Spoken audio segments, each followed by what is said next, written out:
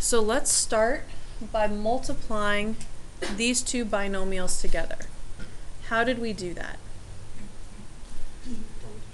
Double distribute. So we did 2x times x, and we got 2x squared. Then we did 2x times 1 to get 2x. Then we took 3, multiplied it to x, and then 3 and multiplied it to 1. What did we do after that? Yeah. What did we do after that? We combined like terms, so the middle terms here we add together to get 5x, and we brought it down. So when we think about doing this backwards, we have to think about how we got each part of our trinomial. so the 3, we got that by multiplying the last two numbers together. So the 3 and the 1, the last two in each binomial. We got the 2x squared by multiplying the first two.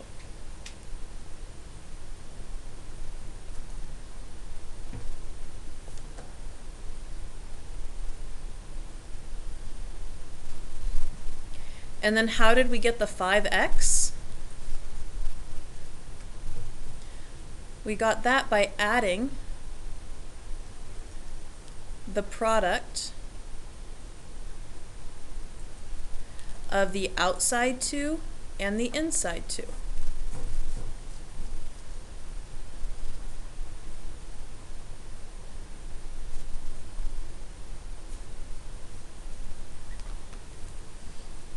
So when we work backwards, we're going to have to use what how we got them to figure out how to work backwards. Okay, does everyone see how we got each term in our trinomial? Yes or no? Okay, so if we're going to look at something like this one here, number one, and work backwards, I know that the 5m squared, let's see, so I'm just going to put two parentheses here. I know that I got 5m squared by multiplying the first two terms in each binomial. So what are some possible numbers that we could put there? Yeah. Uh, 5m and m. 5m times m. That will give us 5m squared. okay, now we also know that the last term we get from multiplying the last two numbers. So that means numbers that go here and here have to multiply to 6. 3 and 2. And then how do we, now we need to check to see if our middle term is correct. And how did we get our middle term? By adding the product of the outside and inside. So we're going to multiply here and multiply here and add up our answers. So 3m plus 5 times 2 is 10. So 3 and 10, does that give us negative 17? No. So when that happens, you go, okay, this one's not going to work. Can you think of another way to arrange it? So there's a little bit of guess and check here. Chase? Six and one. Okay, so let's try. Six and one. So 5m 6m, that's 11m. Did we get to our 17? Not quite. So that one doesn't work. Okay, can you think of any others? Okay, I think we've hit all the factors of 6, but what about putting them in, the, in a different order? So what if I switch 3 and 2? What if I put the 2 here and the 3 here? They still multiply to 6, but we're just changing their location. What's 2 times m? 2m. 5m times 3? Does that add up to 17? Yeah. Now, how do we get negative 17? Because ours, do, ours does need to be negative 17. Put one negative two. But they still have to make, multiply to a positive. So how do we get things that are negative to multiply to a positive? Double negative. So let's make them both negative. So we have negative 2, negative 15 adds up to negative 17. This here is your answer. Okay, so we're gonna we're working backwards by trying to answer and make sure all three of these conditions up top are satisfied.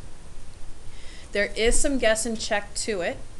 So one of the things that um, I'll do, and I'll do it a little better than I did on number one, but I'll show you how you can just kind of list them out so it's not taking up as much room, because I all know you guys like to save space on your papers.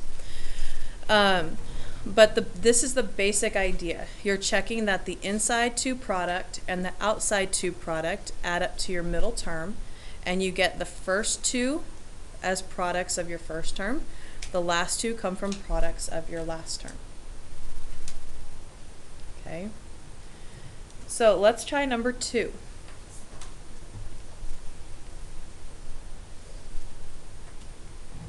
So our first term is x squared. How do we get x squared? x times x. Okay, what about 12? Two times six. Okay, so we have, now instead of writing it here, I'm going to write 2 and 6. I heard 3 and 4. Any others? Four and three. 4 and 3, good. So you can switch their order. Six or 6 and 2. So then what we can do is again, we're trying to, th- the 2 will get multiplied to the x, the x here will get multiplied to the 6. So if we have 6x and 2x, would that work? Is that 7? Mm-mm. Okay, so we know that one's not going to work. So here we'll have 4x and 3x. Is that 7? Yeah, so if we do 3 and 4, we'll get 4x, 3x, which is our 7x. That's our answer.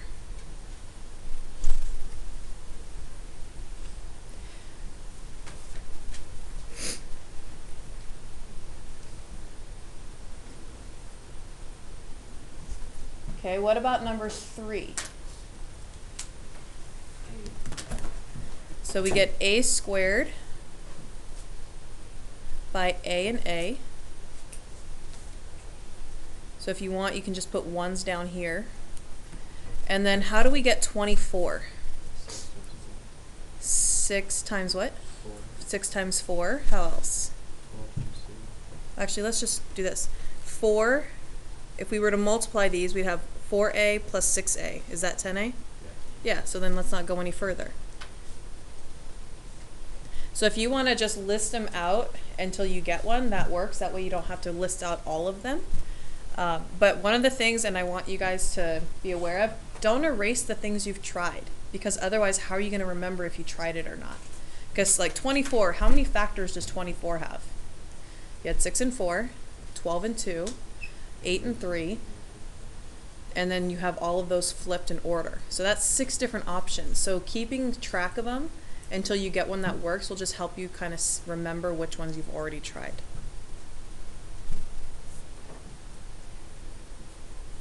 Okay, how are we doing so far? Yeah. Um, since you only have one A in each one, hmm does it matter which way you put the numbers? Since it's four? Not no. Not not when it's a one and both when they're both ones. The order doesn't matter. And even in um, like in number one and in number one, if I had put m first and five m here, I would have had to put the negative two here and the negative three here. So it's not the order your parentheses are in doesn't matter as long as what's inside is correct. So like here, I could have written m minus three, times 5n minus 2 and it still would have been correct. Okay? All right, any other questions at this point? Because we're about halfway through the notes. Okay, so let's try number four. So how do we get 4x squared? Four X and X. 4x and x. Okay, so let's try 4x and x. And how do we get negative 5?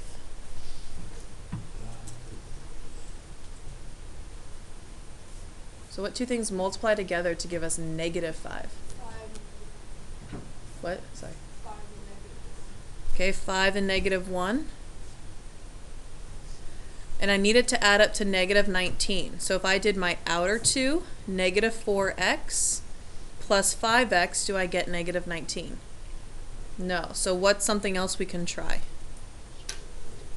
What was that, Gadian? Switch the order. Switch the order, so put the negative 1 here and the 5 here.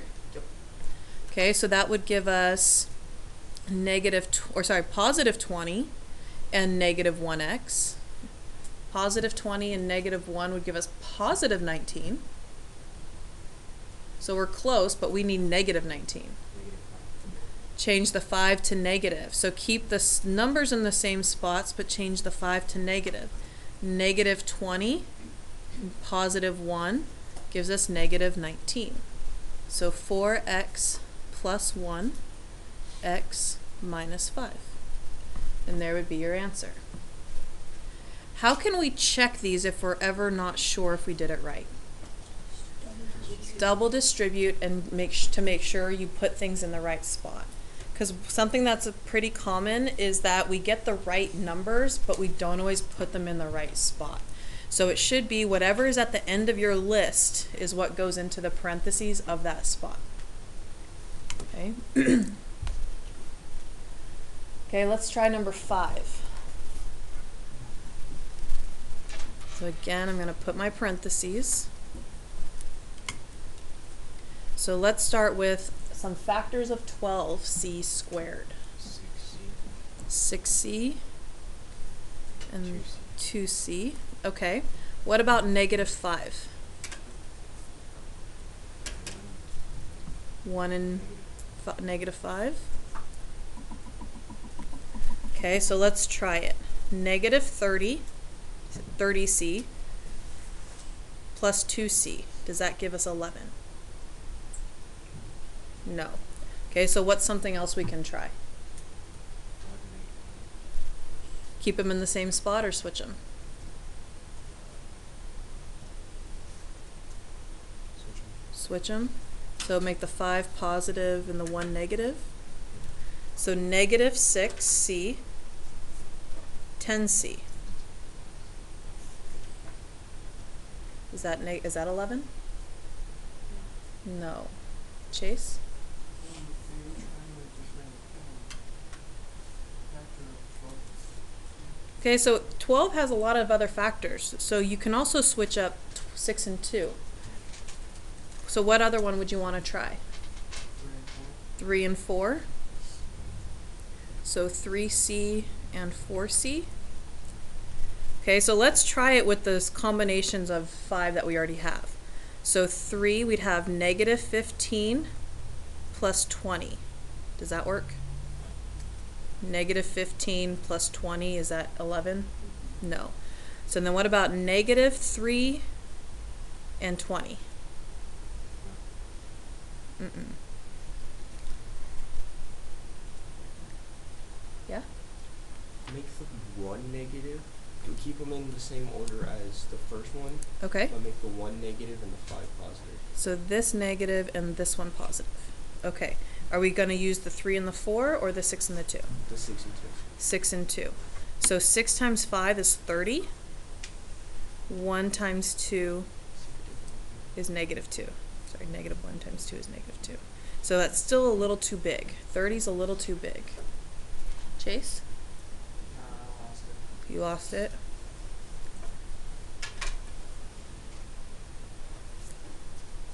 Maybe two and six. Um, flipping because we you only really want to flip one column because otherwise you're going to be repeating. So like if we hadn't flipped the five and the one, then yeah, I could say we flipped the six and the two. But you only really need to do one, otherwise you're multiplying the same things. Twelve. Try twelve and one.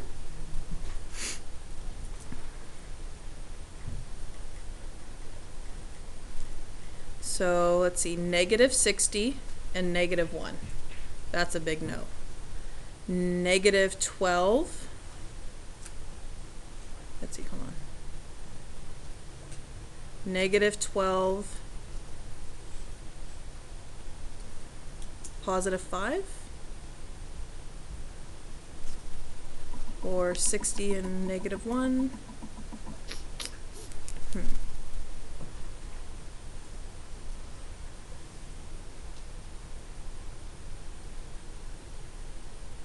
Any other options you see or can think of?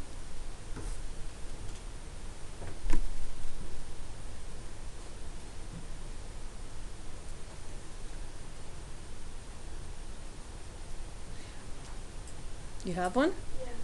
Um, three C minus one and four C plus five. 3c minus 1 and 4c plus 5. 15 minus 4. So 15 minus 4 would give us our 11. So that was the one we just had, we needed to try this one, but with the 5 and the 1 switched. So 3c minus 1, 4c plus 5. Good catch, Rosemary.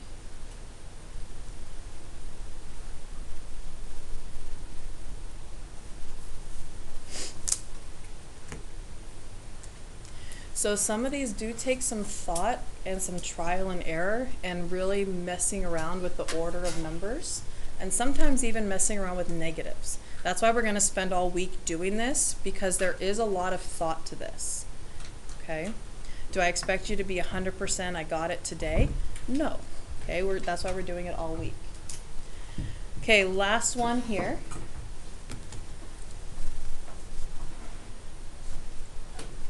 How do we get n squared?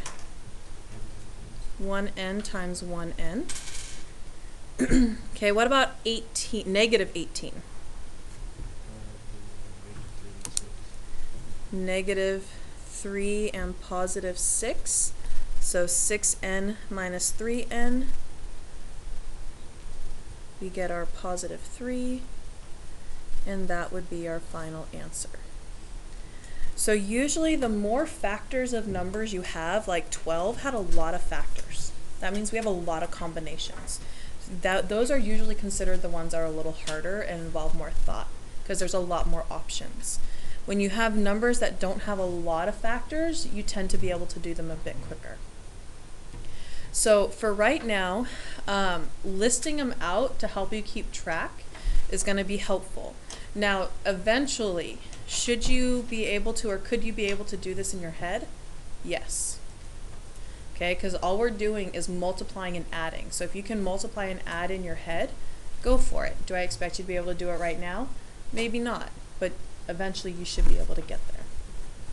Okay, so at this point, are there any questions you have on how we did any of them? Robert. You multiply the outside two and the inside two. And it has to add up to your middle term. So from up here, you're adding the product of the outside two and the inside two to get that middle number. And so again, if it helps you to just rewrite each binomial rather than trying to go back and forth, rewrite each one just to make sure you've checked off all your possible options. Okay? Any other questions you have at this point?